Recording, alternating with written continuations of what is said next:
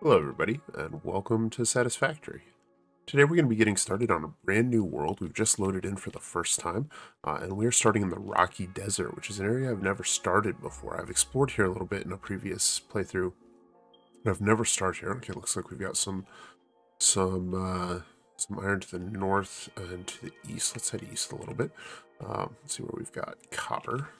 Um, and so this this uh, series is meant to be a tutorial series, sort of merged with a let's play. Okay, it looks like we've got copper, copper and iron both both north and east. Let's head east. Uh, we're going to be going through the world of Satisfactory, advancing through the tiers, building factories, exploring, uh, fighting monsters, and doing all the things that you do in this game, and having a great time with it. And as we go, I'll be explaining the the logic and the thought process behind what I'm doing and hopefully you'll find that useful if you're just getting started playing the game or even if you've played quite a lot maybe there's something more to see or more to learn now my emphasis when I play Satisfactory is going to be on building clean, efficient factories. Things that, that look nice, that fit in well with the natural landscape, that take advantage of uh, fine tuning and precise engineering and mathematics to function efficiently, um, and and also to explore some creative ideas and and really make the world uh, a more interesting and more fun place to be. Let's see, let's get up here. Oh, there's the iron. Okay. So we've got iron. Looks like we've got our first uh, first hog over here. Let's take care of him real quick. Now with the hogs, I found the best thing to do is let them charge you, and then right before they hit you, just just poke them. Only works really if there's only one. If there's multiple, you sort of have to dance around a little bit. Uh, and you can also jump over them and, and poke at them from above, and that works just fine. But, um, but otherwise it works pretty well. Alright, we've got our iron ore here. Let's go ahead and get our hub set up. Uh, and it looks like this is actually really great. Let's see, how far away are we from our copper? And it looks like we've got some sandstone out there. So 250 meters, that's not bad. And then, a limestone rather. 280 as well, okay. All right, so we're, we're in a pretty good starting place here.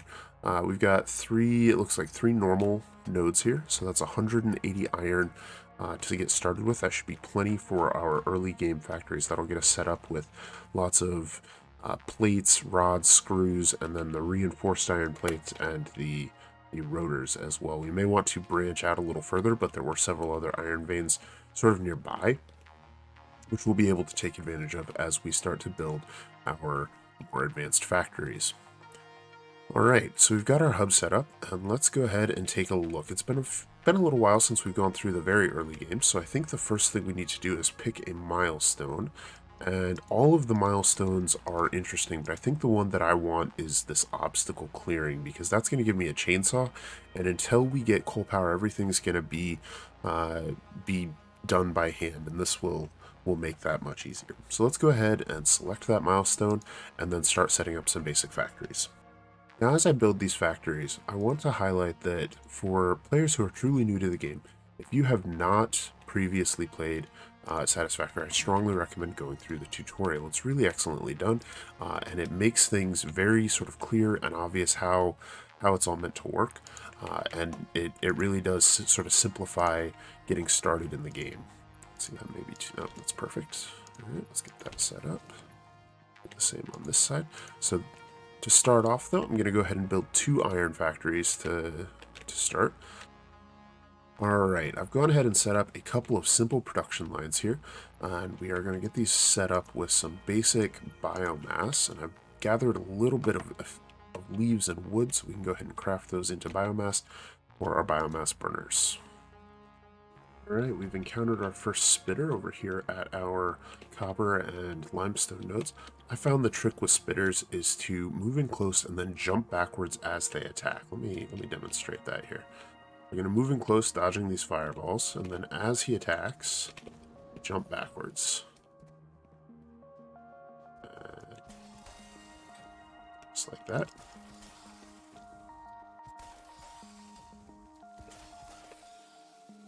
There we go. Now, one of the things we're going to prioritize in this Let's Play is the use of all of the resources that are available to us. And one of these is alternate recipes. I happen to notice that there is a drop pod crash site over here. Drop pod crash sites contain hard drives, which we can research once we get a little bit more, more, uh, you know, preliminary research done, and use those to uh, find alternate and more useful recipes. And in particular, there are a couple of very useful ones at the start of the game. Um, and also, these are surrounded by uh, useful resources. So let's go ahead and pick those up real quick.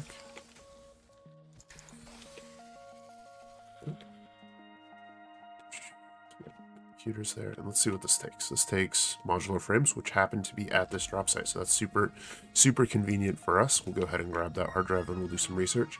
There's two recipes in particular that are very useful in the early game. The first one being cast screws, which um, you know tends to fall off in usefulness as you go on a little further. But uh, at the very early game, it means that you can greatly simplify your production uh, in those very early tiers and factories. And, uh, and so that's one we'll be looking for. And then the second is iron wire, which lets us use iron to produce wire and cabling instead of copper, which notably will make a number of factories much simpler to build because we'll only need to have one input line. There are several factories early in the game uh, that will make use of both wiring as well as some iron components, and if you can just make that wire out of iron, then it greatly simplifies those, those factory production lines. All right, and that is our first milestone done and dusted. Uh, we are starting with obstacle clearing, and there are so many more that we are going to get. Uh, I think we're going to go ahead and get all of tiers 1 and 2 today. So let's go ahead and get ourselves a uh, chainsaw and start clearing because all of this stuff needs to be cleared out so that we can put down concrete.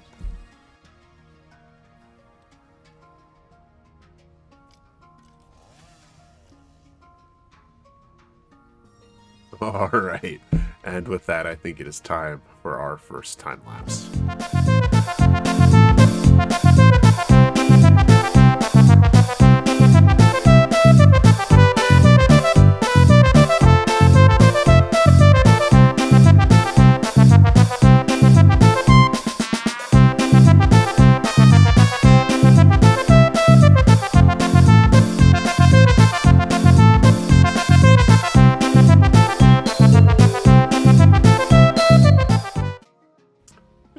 Good start. I think uh, I think that should give us the biomass we need to get a couple of simple iron factories built up. So let's go ahead and knock out a couple more milestones so that we can get those underway.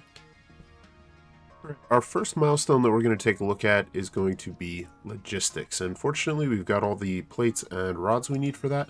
Uh, so we just need to run over and grab some wire and we should be good to go. All right, and with logistics out of the way, we can go ahead and retune our uh, production lines to make better use of our materials while we wait for the uh, escape pod to come back, or the drop pod to come back, and we can take a look at base building or field research. All right, our rods and plates are now being produced by a single miner instead of two, which is great. Uh, so we're saving a fair bit of power there. I've also set up some storage containers to let us start building up a stockpile of those parts.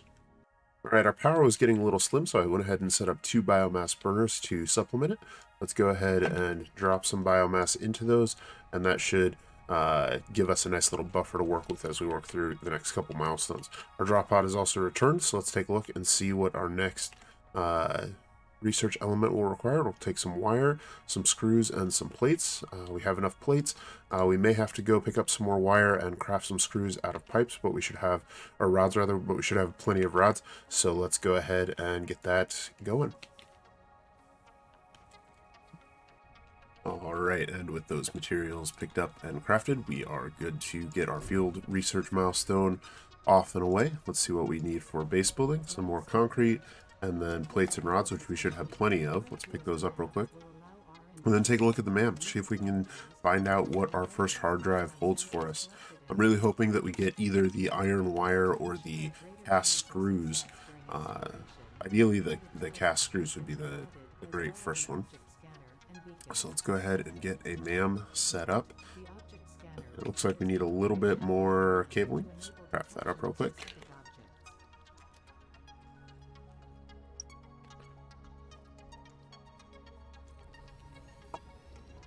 And go ahead and get that started. So that'll be done in about 10 minutes.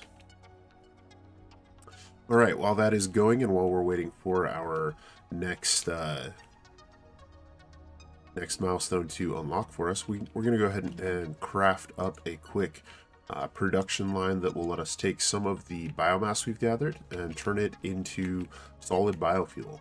Uh, eventually we'll build a full plant for this, but for now, what we're going to do is just start off with a single constructor going into a storage unit so that we can uh, sort of automate that sort of rather tedious last step. You know, it's, it's real quick to craft wood into biomass or even leaves into biomass isn't bad at all, but uh, but biomass into solid biofuel is a pain in the neck.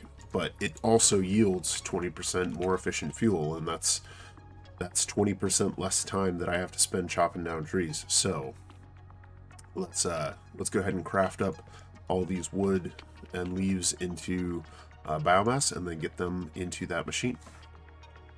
All right, that is now built and and plugging away there. Uh, we've gone ahead and crafted up all our biomass. You can see that's that's being drawn in, and then we are getting some nice, tasty, solid biofuel as a result.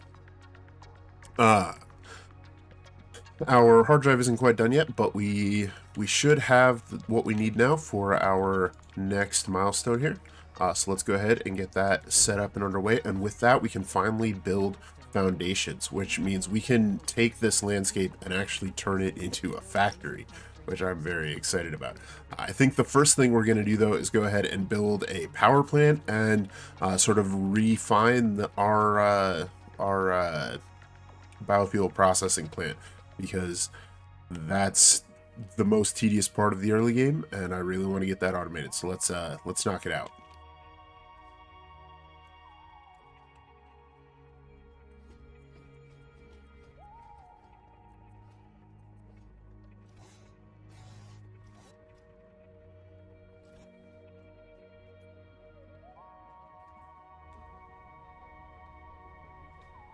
In the midst of constructing the foundation for our new power plant, our MAM finished, so let's go ahead and take a look at what we've got. Alright, we have stitched iron plates, we have bolted iron plates, and iron wire. These are all three really strong recipes, but we won't be able to take advantage of the stitched iron plate or the bolted iron plate for a little while yet, so we're going to go ahead and go with iron wire. I'm a little bummed that we didn't get cast screws, but that's okay. We'll, we'll fish up some more hard drives here in a little bit and, uh, and see what we can get. Now, uh, our power plant here is going to occupy this uh, this six by three space, and essentially on each of these sort of interior nodes, we're going to go ahead and set up a power plant, um, which will give us a total of 10 spots for power plants, uh, and then we'll have sort of a central aisle that we can walk down to refuel them. Uh, this is all going to be done by hand, so we're, we're going to make it small and, and sort of clustered together so that it's nice and quick to move through. And then over here off on the side, we're going to build up our biofuel processing and then sort of start working our way across and just sort of keep building off this foundation to build in our other factories. All right, and that is a 10 biomass burner fuel plant up and running. Uh, let's go ahead and get the, the biomass processing center updated now.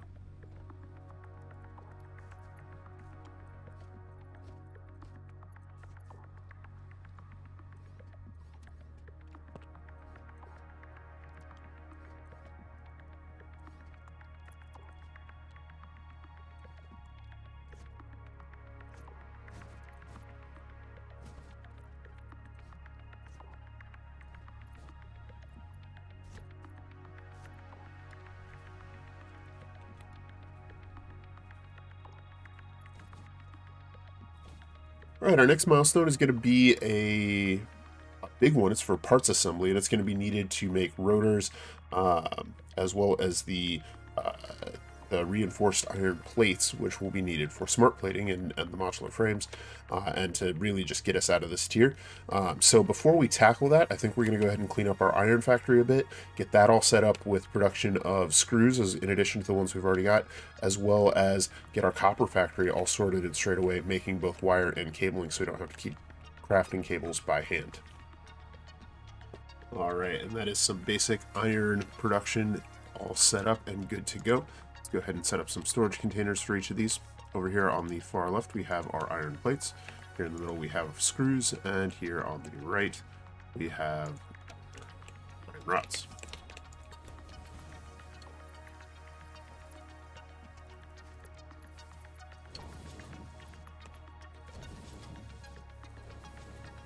Our next step is going to be to take a look at our concrete and copper production. We're going to start with concrete. We have one concrete factory going up there on the hill. Uh, you can see that concrete coming over the ridge and filling that up. We just emptied out that container, so we are running low on concrete, uh, which means we aren't even going to have enough to build the foundations for this next factory, which is why we're going to build a second concrete smelter right here uh, so that we have plenty going forward because we're going to need a ton.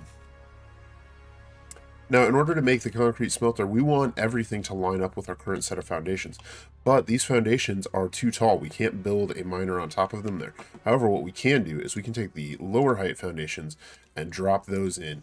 And then we should be able to build a miner right on top of these foundations that is in alignment and attached to the same grid as everything else. And, and of course, I've used all of my concrete in making the foundations, but that's okay. We can we can for demonstration, go ahead and set that up just like that.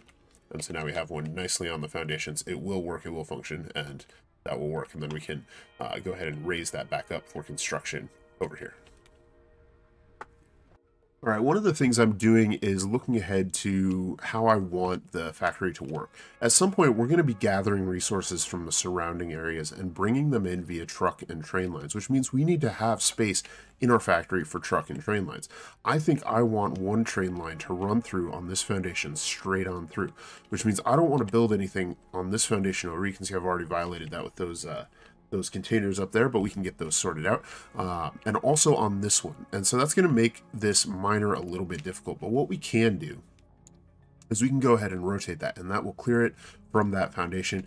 And it means we can go ahead and build up our concrete production over here and have it nice and easily accessible from the rest of our factory. All right, well, while I was out gathering more biomass, uh, I found a quartz node, so let's go ahead and pick that up. Uh, that will let us do some research in the MAM, which will be great. And just like that, copper is automated. We have 60 copper iron, or excuse me, 60 copper ingots per minute coming in, splitting off into three separate constructors. Uh, all three of them are making iron in the back right there, and then one in the center is making cable. One of those is going to be switched over to copper sheets just as soon as we unlock it with our next milestone but those are then feeding into some storage containers. So we have uh, all of our storage containers within about 100 yards of each other, and that is excellent. That is a great early game factory. It looks like one of our power plants has run out of fuel, so let's pop on down and see how we're doing with that.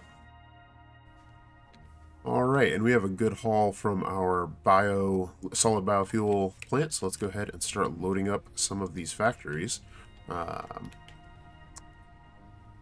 go ahead and I think drop a hundred or so in each. I put 200 in that first one, but I think we'll we'll do just fine with each. One of the nice things about biofuel is that while it is a little bit tedious to gather, it is 100% efficient. You don't need to worry about overfueling or about uh, your furnaces sort of running for too long or anything like that. The, the furnaces generate exactly as much power as your factory consumes, which means that however much fuel you can put in, you can trust is going to be used appropriately.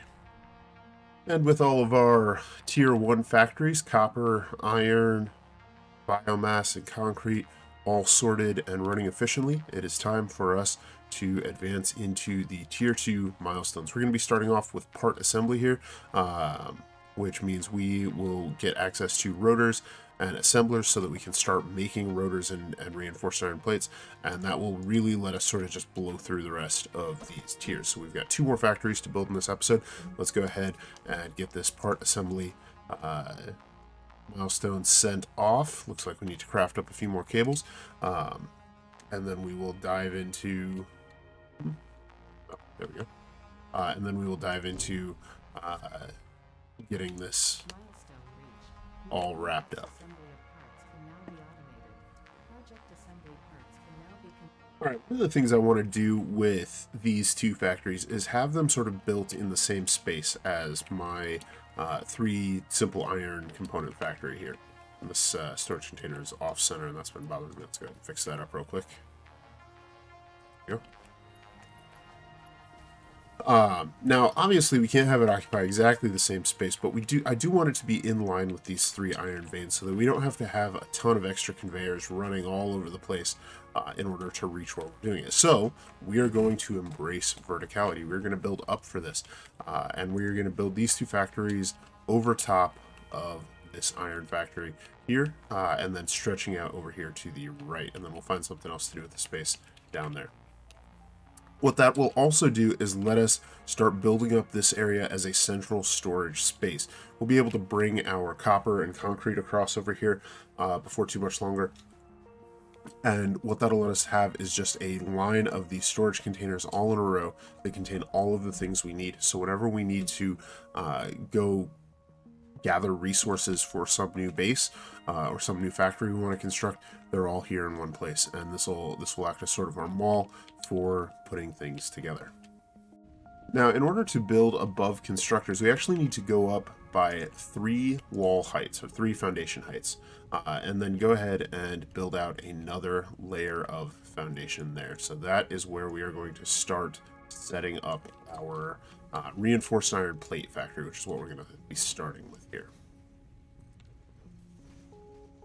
All right, now as we start to plan out our factory, one of the things I like to do is build a lookout tower right at the corner of where I'm planning the factory to go. This last uh, sort of line of foundations I'm leaving as a walkway I'm not planning to build on, which means I have a view of the 4x4 area I've set up for this.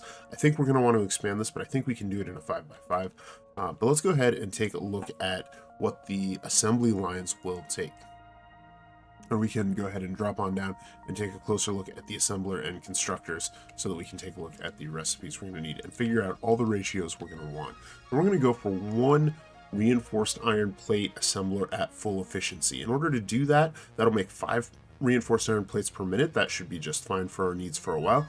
Uh, but that's going to take 30 iron plates per minute and 60 screws per minute. So let's go ahead and take a look at what those recipes will do for us. Well, that means that we're going to need two iron plate constructors, and they are going to be drawing, let's see, that's uh, another 50% on top of that, so 45 iron ingots per minute uh, in order to make the iron plates for that. The screws are going to need, let's see, what did we say? We're going to need 60 screws per minute. So we're going to need uh, an additional 50%, so two screw constructors as well, uh, or 15 iron rods per minute. And iron rods, I believe, are one-to-one -one with iron ingots they are, uh, but we should only need one iron rod constructor for that, and that brings us to an even 60 iron per minute, which is excellent. That's perfect for our needs because we have some normal iron veins there ready to tap, so we can set up another miner on one of those, run that 60 iron ore per minute into two smelters. Those two smelters will then feed a line up here that we will turn into all of the ingredients we need. Now that we have that planned out, let's go ahead and make sure we have enough. So we've decided we're going to need one iron rod constructor, two screw constructors, two plate constructors, and one assembler. It looks like we have all the parts we're going to need for that. So let's pop back up our tower and start working on a layout for this. Now, because all of our outputs are going to be at less than 60 per minute, I think we are okay to just have these sort of be piped in uh, more naturally. I think what we're going to want to do is have a constructor there. That'll be our iron rods. And then over to the right of that, we'll have our two iron plate constructors. Beyond that, we're going to want two constructors for our iron, uh, or for our screws rather. And then we will set up a merger. Let's see, logistics conveyor merger uh, right there. And that will bring in the other line of our plate. So we'll have our plate output line there, and then we can have another merger. And that looks like we are going to need to expand this a bit. That's just fine. Those are not real. Uh, and then we can figure out where we want to put our assembler. Looks like we might need a little bit more space even beyond what we've set up here. Uh, it looks like I'm running a little low on iron plates there, so we'll pop down and grab some more. Uh, but all of that set up, we can go ahead and plug in our assembler right... Let's see, where do we want this? You know, I think what I'm going to do, and this is going to get a little tricksy here, I'm going to run this assembler backwards. And we are going to have the conveyors loop over and hook into the back and then have this one sort of loop in and around. And that will give us our uh, downward facing belt right here, which will be in perfect position to then hook into our uh, new storage container for these belts right there. And that, I like that. I like that a lot. And then what we can do, uh, once we've got that all set up, is we can do another, we're going to set up our rotor factory like right here in this airspace right here. Uh, at the same level as this, but to our right here and building out from this cliff. And we can have that also terminate uh, one foundation over to our right here. And so then we'll have all five of our, our uh, containers containing all of our per, like finished items all in a row. And I, I like that. I'm getting very excited for this. Uh, so we'll be able to drop down a, uh, a uh, conveyor lift here, uh, which we don't, We're out of iron plates. Let's uh, let's pop down and grab some more iron plates. We can keep building. Uh, and let, us go ahead and and just wire this up. Now that we've got all the buildings in place, I think it's it's a pretty trivial thing of wiring this up. I think I'm even going to go ahead and do it in a time lapse.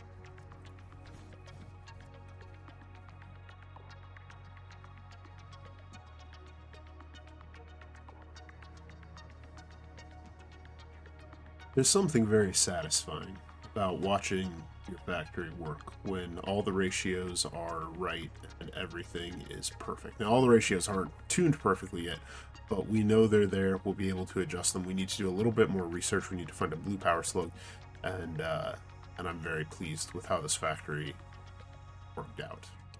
It's very satisfying, very satisfactory, even. Something else that I found very satisfactory is the new zooping system and how easy it is to just build out an entirely new factory foundation there. I love it. All right, just as we did before, it's time to plan out the uh, the ratios for our rotor factory. Now, rotors take 20 iron rods per minute and 100 screws per minute. And this is going to be a little tricky. We're going to go ahead and build this, but we won't actually be able to uh, use this just yet because we don't have belts that can haul 100 screws per minute. So this is something we're going to put in, knock out a couple more milestones, and then come back and fine tune this factory. That'll give us four rotors per minute, which should be plenty for all of our needs for quite a while yet. Uh, and so let's go ahead and take a look at what we're going to need as far as inputs go for that. So 20 iron rods and 20 and 100 screws. Now, 20 iron rods should not be a problem at all. That's two constructors worth. We're very good at that. That's nice and easy. Let's take a look at screws though. 100 screws per minute is going to be three constructors worth and it's going to take 30 iron rods per minute. That means we're going to need a total of 50 iron rods. So we should be able to do this with just four iron rod constructors instead of five, uh, then feeding that into uh, three steel constructors. So we're going to need a total of seven constructors for this. So let's go ahead and pop up and see, make sure, make sure we have enough materials for all this. Seven, six, seven, and an assembler. Uh, so it looks like we're missing a few reinforced iron plates. Let's pop down and grab those, and then get up there and start planning out.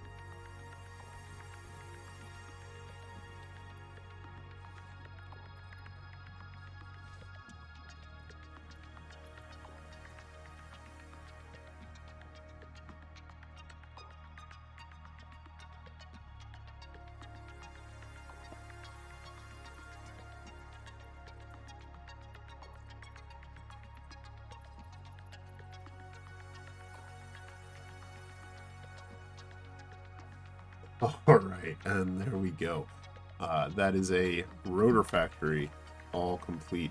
You can see the machines are starting to whir to life. Looks like we forgot to set a recipe on the assembler there, so we'll pop down and do that here in just a minute. But with that, our tier 1 and 2 factories are all complete.